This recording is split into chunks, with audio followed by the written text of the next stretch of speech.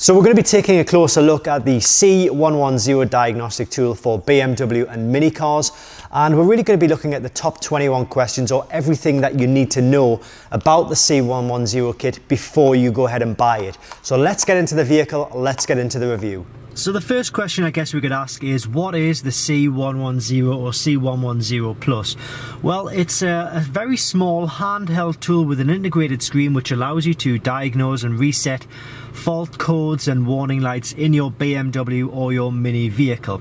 Now let's say for example you have a check engine light or an airbag light like we do on this screen. It's going to allow you to find out what the reason for these faults is and ultimately reset the warning lights and reset the fault codes. So it allows you to, puts the power in your own hands so you know what the fault is if you're putting it into a garage. Alternatively, if you don't want to take it to a garage, you can fix the car yourself. That is what this tool allows you to do and that is what it's made for. So where to buy it? The best place to buy this if you want to get a genuine tool is just by clicking the link directly below this video. It will take you to the Amazon listing for the uh, the absolute cheapest price you will find this tool for. And uh, bearing in mind, if you go through the link that I'm going to show you, it will be a genuine tool. There are fakes, there are clones. It's very um, very tempting, I suppose, to maybe go out and buy a really, really cheaper tool, but it will be a fake, it will be a clone. Um, with regards to the price of this tool I think the prices obviously they do fluctuate they go up and down but at the moment I think the price for this is round about 49 or 50 pounds which actually for the uh, the amount of cover system coverage and vehicle coverage you get with this tool you know it's smaller than the palm of my hand. It's an absolutely fantastic bargain. It really really does give you a lot of power for a, a very small amount of money so how is the tool powered? Does it have an internal battery? It does not. We have this cable running out of the top of the tool. The other end of this cable goes into the diagnostic port, so it takes its power from the vehicle battery. Uh, what manufacturers are covered?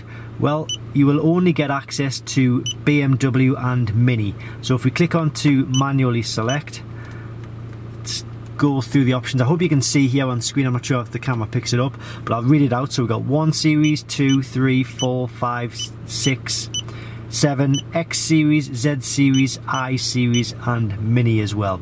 Uh, for the Mini, it's R50 to R53, R55 to R61, and F55 and F56. Okay, and what systems are covered?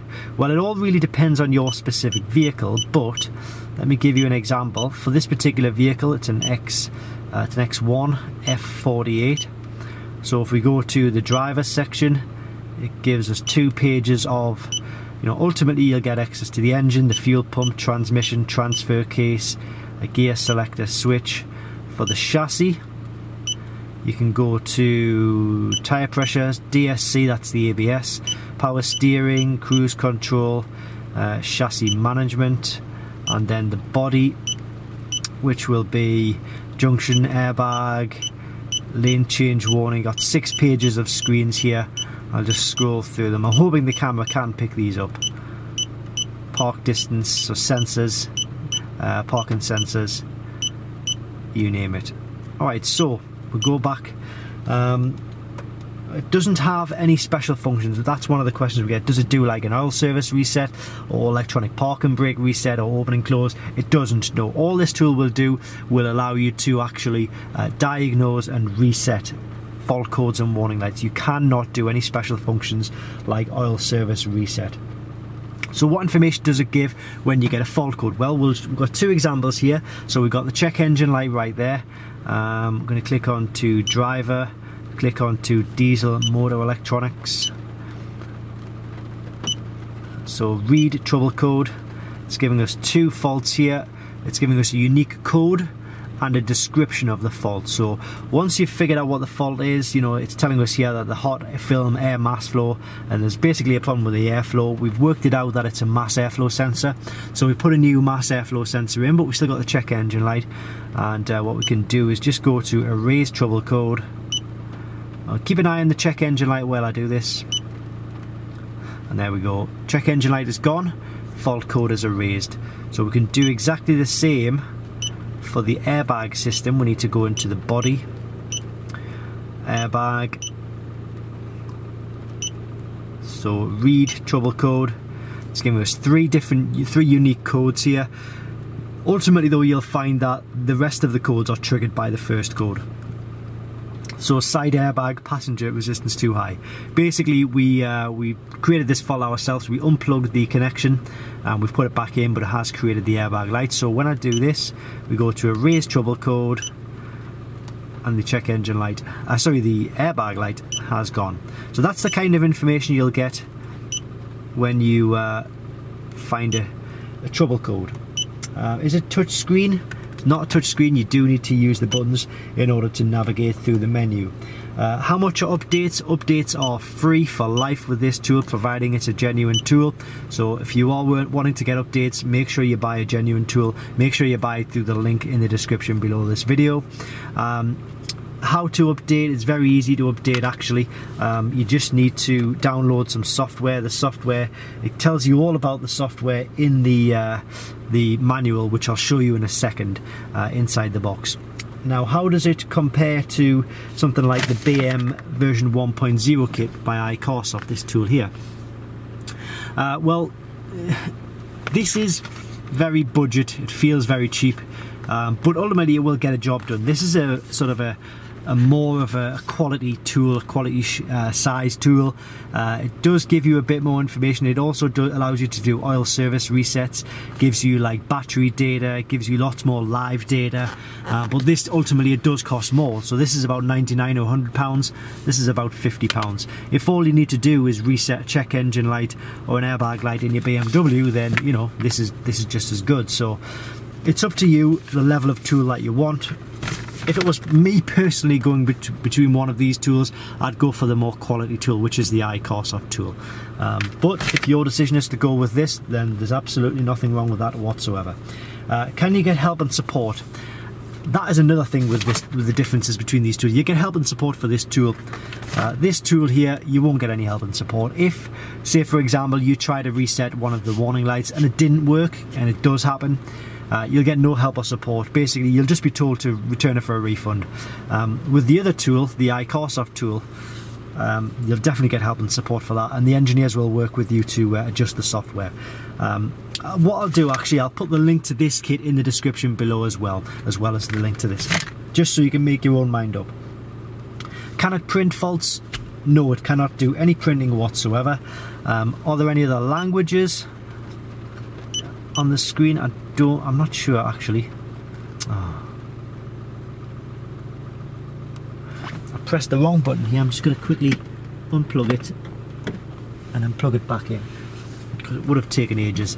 Uh, system configuration, uh, system information or beeper. All you can do is just turn off the beeper on or off. So no, the answer is doesn't do any of the languages. The only language you can do is English. Um, box inst uh, instructions and box what does it come with. So this is the box here. Gives you basic information about what the tool will do. We open the box up. Inside you will get a nice handy little pouch here so you can keep this in your glove box. Um, a USB cable to update, uh, connection um, manual so it'll allow, show you how to do the updates and this is the software here on this little CD. Software can only be updated by using a Windows machine. You can't use a Mac or Apple software to do any updates. You must use a Windows machine. Uh, is it easy to use? Well, you've saw me go through the menu system there. Very easy to find what you need to do. Very easy to understand the information on screen. So yes, it's very easy to use. And would I recommend this to somebody with no experience? Absolutely 100%. In fact, this is probably the tool I would recommend for someone who has absolutely no experience whatsoever because you know, well, as, as with the iCarsoft tool, you can't do anything wrong. You can't damage the tool, you can't damage the vehicle, which is ultimately what you're looking for. Um, there are no other icons, as I say, to mention, so it's hard for me to show you any other icon menus. You can just, what you can do is the three main options here. So we looked at manually select, where you manually select the system which you want. Uh, you can do system configuration, which we looked at, but automatically search all this really does is if let's say for example you had a fault and you weren't sure where it was it would search the whole vehicle for faults which I accidentally pressed it before. So it goes through the whole system, the whole vehicle and the whole uh, selection of systems that it can potentially diagnose and it will find faults in any of them if there are any. Um, it's a good way of doing it if you don't know where the fault is or you just want to do a quick um, health check of your vehicle. Um, we'll come back to this in a moment once it's finished. Um, does it double up as anything else? The answer is no. All you can use it for is a diagnostic tool. So you can't go on the internet, you can't uh, use it as like a, a, phone or anything like that. It's just purely a diagnostic tool. And uh, delivery of this is absolutely phenomenally quick. If you order by the link below, um, I ordered this and it actually came the next day. So delivery is really, really fast. With regards to this here, I think that what this is doing is it's telling us the systems that it can connect to. I believe. I'm not sure why it would tell us. So let's see, it's got this DSC in red here. Does that mean there's a fault with that? Uh, read trouble code. Ah, yes, it does. So it's telling us there's a fault with that particular system. Sometimes, you know, these cars, they do have complex electronic systems, and sometimes you can just get rid of them by. Um, they're like little anomalies, they're not important enough to show a warning message. So that's probably what's happening there. But ultimately, that's it. Um, so yeah, so I hope you found this useful if you are maybe looking to buy one of these tools or you were interested in just understanding more about the tool if you've bought one already or you, you want to buy one to see if it's going to be suitable for you, your needs, your vehicle needs, um, whatever, I hope it's helped. Um, but I do think uh, if you want a genuine tool, you need to go through the link in the description below this video. Like I say, you'll go through and you'll get a genuine product there. Uh, thanks for watching this video. I hope it's helped and I'll see you on the next video.